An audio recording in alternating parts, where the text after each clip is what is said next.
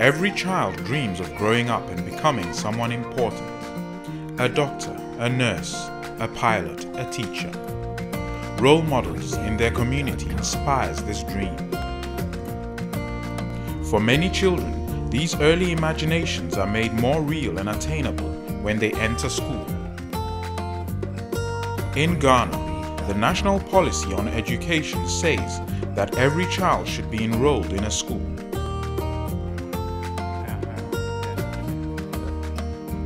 But the reality is that some children will never have that opportunity.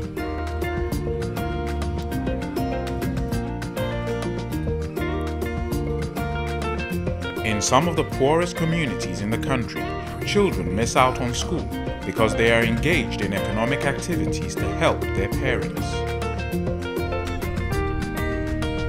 Like Hawini, who will join his older brother in the fields herding cattle.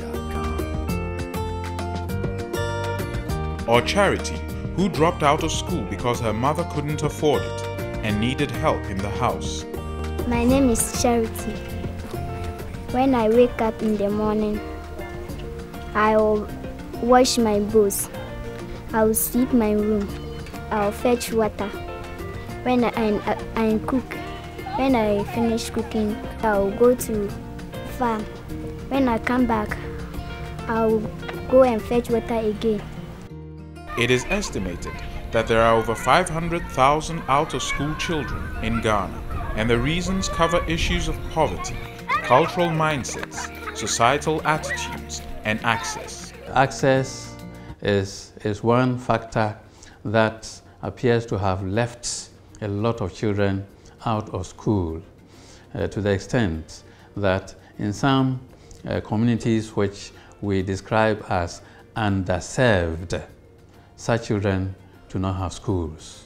Because of inadequate resources, government is not able to reach every corner of the country. So in these far to reach areas, in these very remote rural areas, you would still find children that are unable to access formal education. A number of factors contribute to that. First of all, the distance. Some communities are remote and are cut off by natural barriers like rivers.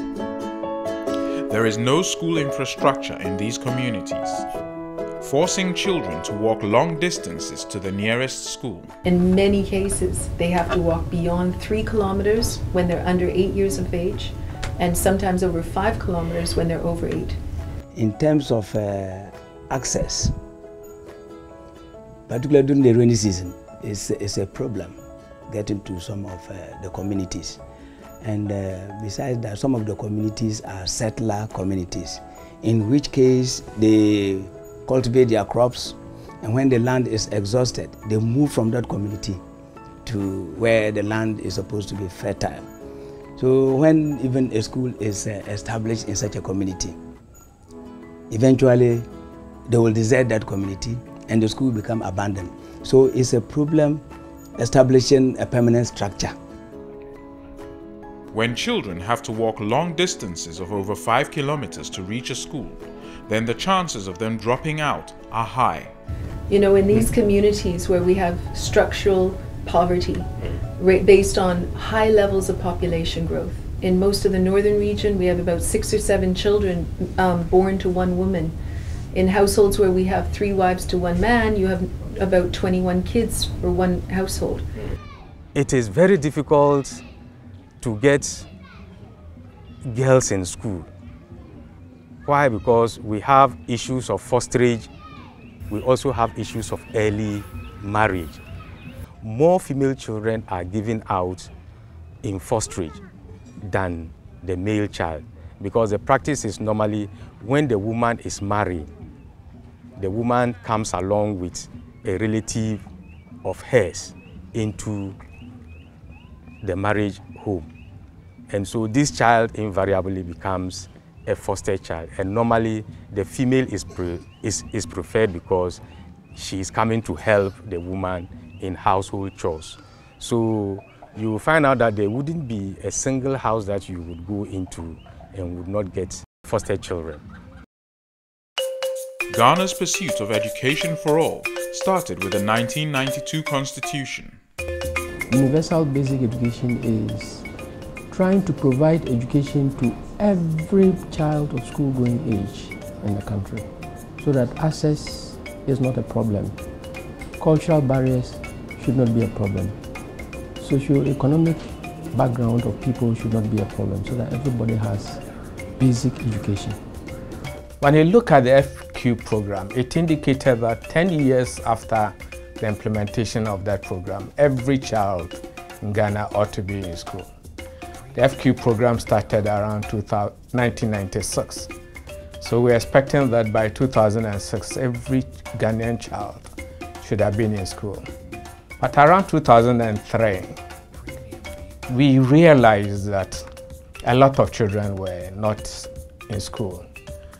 So government then came up with various policies like the capitation grant and later the school feeding program, the free transport system, the free school uniforms, and all the other interventions which were aimed at making sure that every child goes back into school.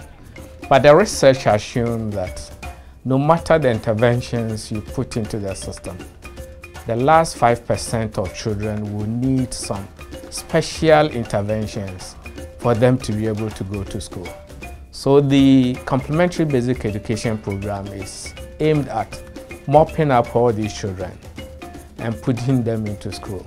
This program was conceived jointly by the government and its development partners led by DFID to bring all children who for some reason have never been to school or have gone to school and dropped out back into the classroom.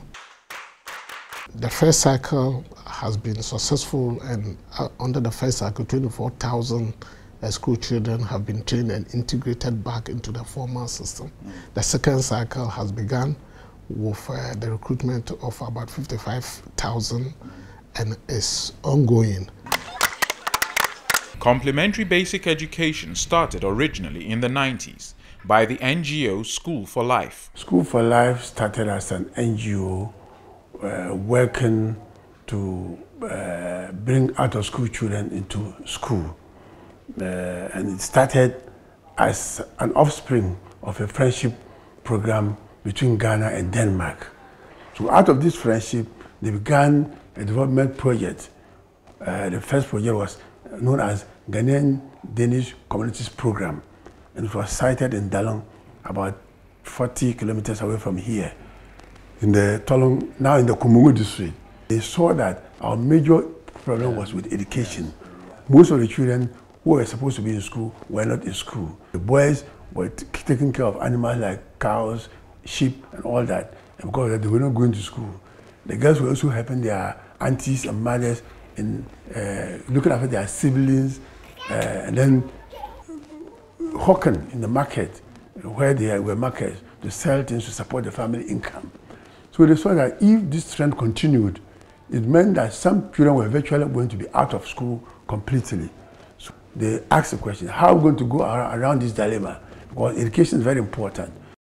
And so complementary basic education was born. Its main features included flexibility of school time to accommodate the chores children were doing for their parents. Our timetable is also uh, flexible. It's three hours. They will go around 2 o'clock and maybe close at 5 o'clock so they can still go back to help their parents in household chores. Its greatest advantage was the ability to provide access to education to remote and underserved communities even under a tree, uh, classes can be organized. Each class has an enrollment of 25 learners. And the 25 learners, 13 of them are supposed to be girls and 12 boys. It is the mother tongue that we use to train them. All the materials that we have developed is in the mother tongue.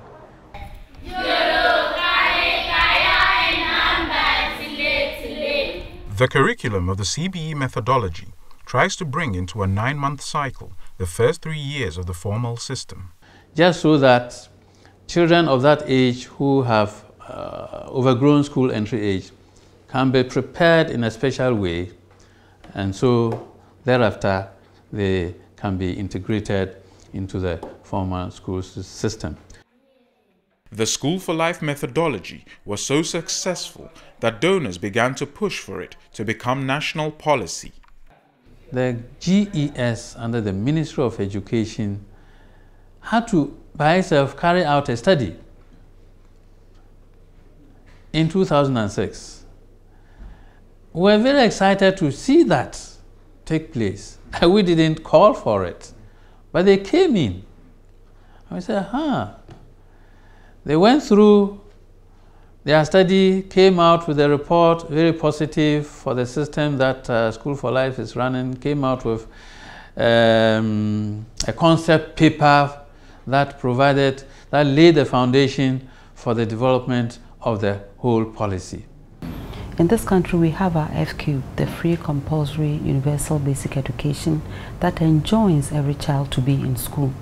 But we are also aware that it is not every child in, who is in school. Our recent population census demonstrates, for example, that Ghana has about half a million children who are out of school. This number came under a lot of discussion, but for us, we felt that even if the number was less, it still enjoined us to pay attention. So who are these children? Where are they? Why are they not in school? Even as we try to send the schools as close to the communities as possible, we are also very mindful that the children are growing. Know, they are not going to wait for your policies to be debated and for money to be accessed before they get education. So meanwhile, what do you do?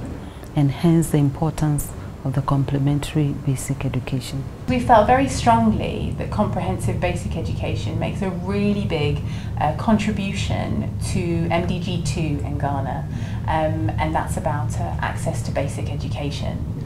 So at the moment, uh, Ghana has not met that MDG, but increasing access to primary education is critical to it.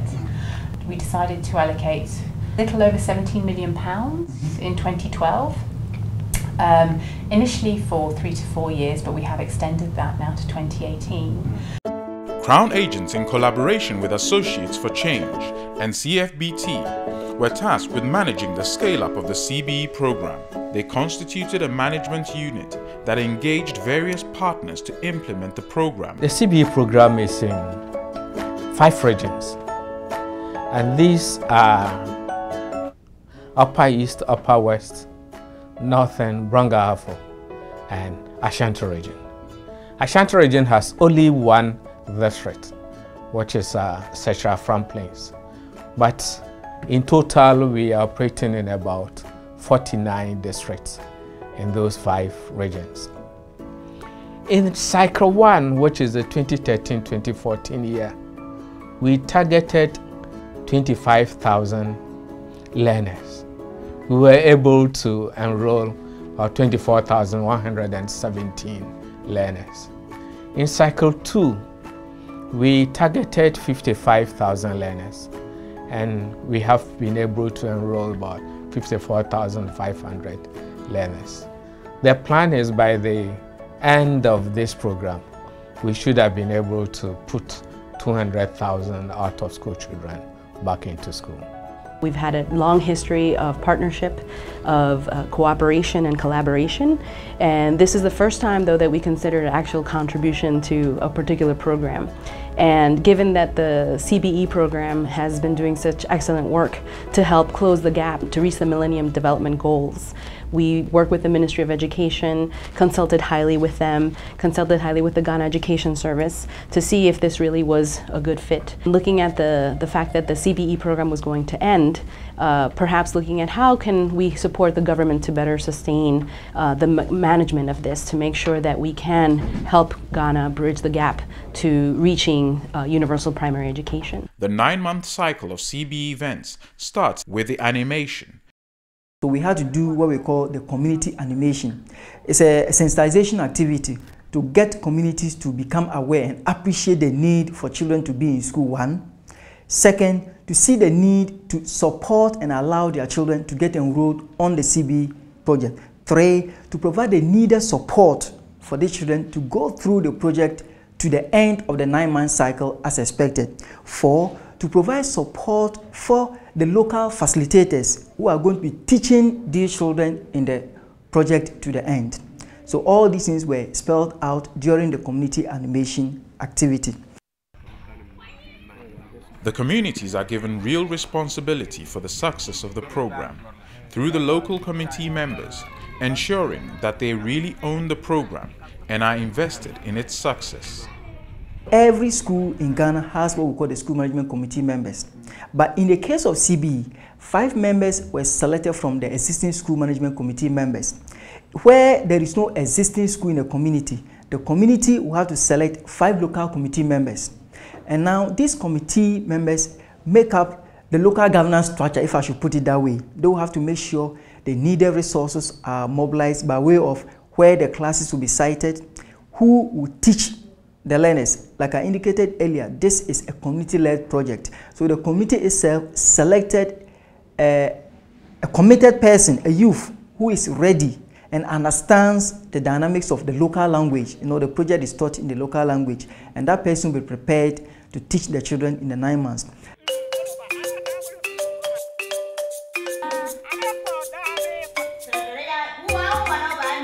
These are the real heroes of the CBE program, young men and women who volunteer their time and commitment for the reward of seeing children from their communities given a chance at bettering themselves. Big John teaches a CBE class in the Atebubu district.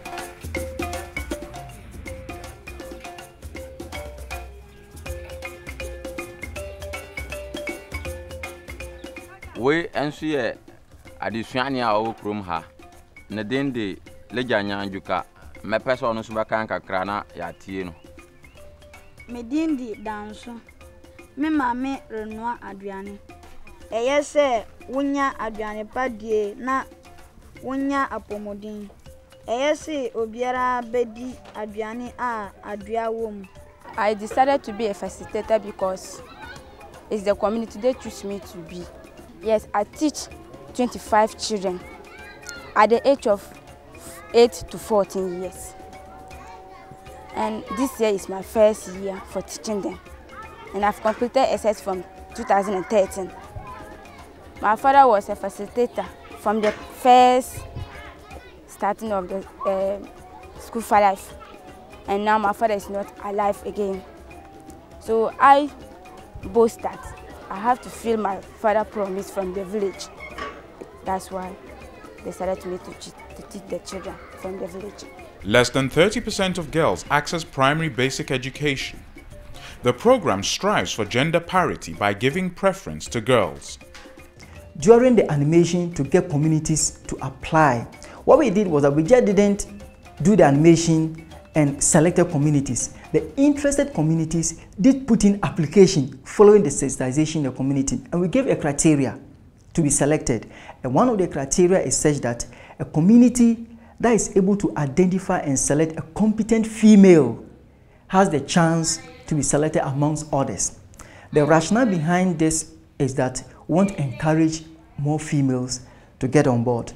The five-member committee, you have three females and two males. In some cases, you have the females as chairpersons, and then in, in that case, the children are motivated to also enroll. That we see our mothers managing this class. Then the mothers also, in terms of counseling, I have visited a community where the females counsel the children from time to time. And so that is increasing the enrollment in terms of females. They also notice that the girl child education, especially in these hard to reach areas, the rural areas, is so difficult that the parents by themselves will not be able to do it and they have to be motivated in different ways. So they come up with different packages. So for example, they try to, if it's a female facilitator, they make sure that the female facilitator that is volunteering her services is given opportunity to continue her education. That way, there's a dual achievement of purpose in the sense that they are helping the girl achieve her aim of continuing her education and at the same time helping the program to ensure that more females are enrolled in the program. They serve as role models. These children have benefited from the CBE methodology and reintegrated into the formal education system.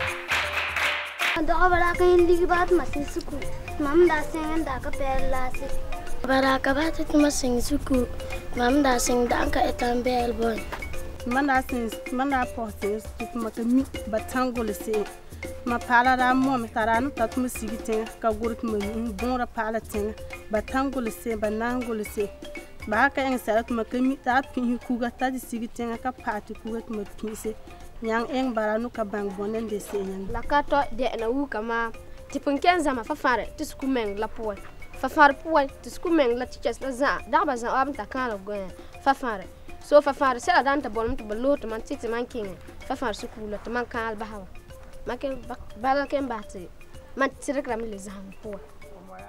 Once the kids have been trained and integrated, they are very happy and, and, and armed with a new confidence they have. They themselves are motivated enough to stay in school because once they were timid, now they are very confident and confidence helps a lot in staying in school.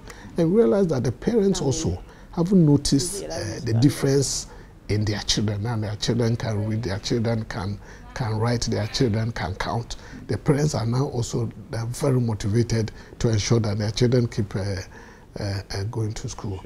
Sustaining the CBE program is a key objective for the drivers of this intervention.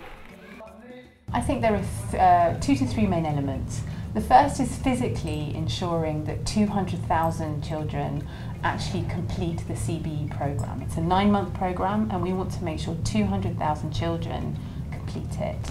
Um, originally, our, our target was 120,000, but recently we've had additional funding from the US government, which will allow us to target and support even more children through the process.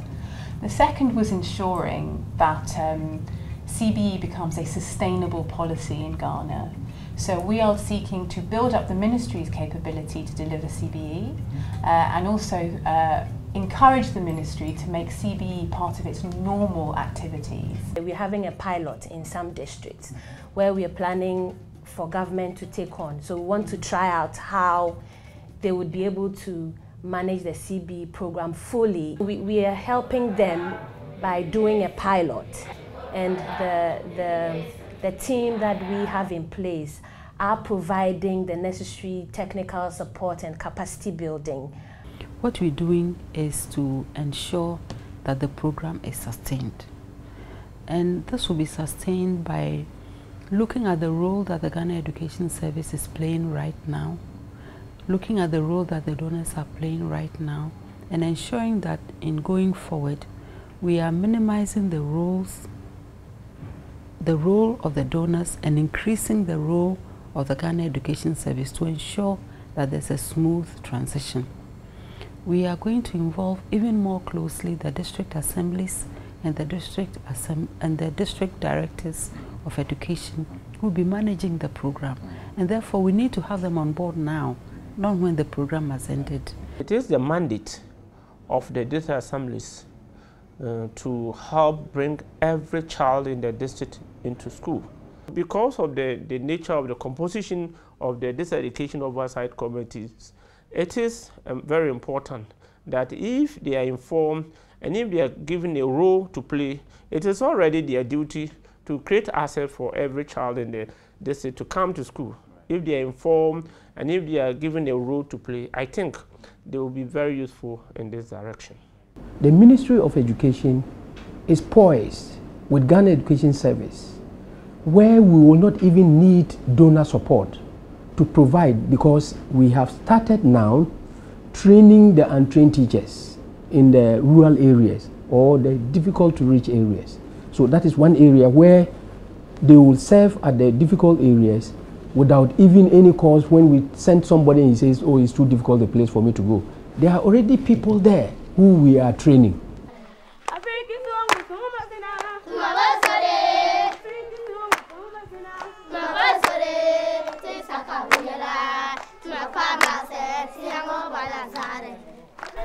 mai ŋma pʋʋsgɔ la mam biɛl man daa tag n zɔna lool la min man zãmsẽ me tɩ bee sã n kɔra de bõna ya noor tɩ ma yẽ la mam biɛl sẽn yõ tɛg sikuula la. Nan wa mam mi tɩ mam biɛl bo ma nengame man daa sẽn tõna baad yeele mam mi tɩ mam baad yɛl wuo bas la yoo tɩ mam biɛl n bas yoo mam me ne dɩk n zãms loore t'a beer pʋn ka bõna ya noorɛ tɩ ma nis yã tãn biɛla bala n tɛg sikuul kɔbl ma ẽ ŋma pʋʋsg zo'e zo'e zo'e la bãn t'a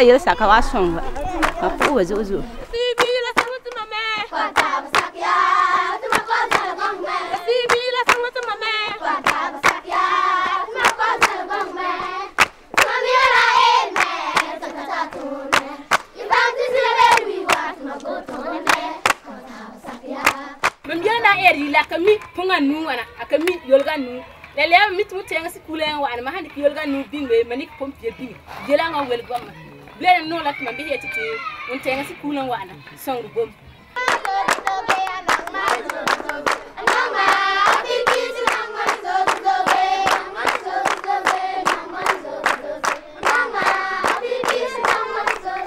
Mandabolo koma ma shopon karik ma kenji tout Ama an pa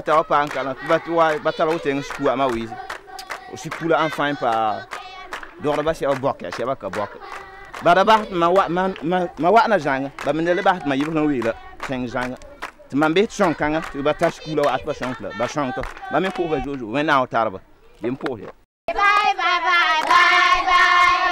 As we leave the Awisi community, the children sing a song that reflects the positive attitude they have towards the CBE program. They say, We have done our work.